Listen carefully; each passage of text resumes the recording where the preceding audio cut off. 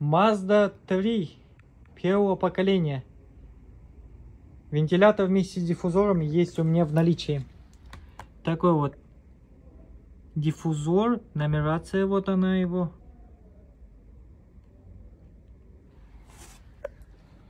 Так, сейчас покажу вентилятор, его нумерацию. Так, вот здесь вот подключение идет двухконтактное, видите? Вот так вот идет сюда, соединяется здесь э, раз, два, три. Вот здесь вот нумерация также, если хотите, посмотрите. Тоже сделаю этот акцент.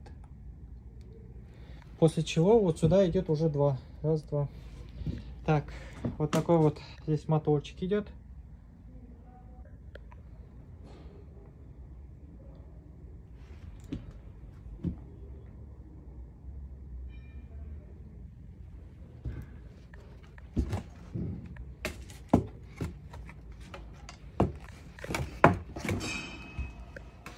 Такой вот вентилятор.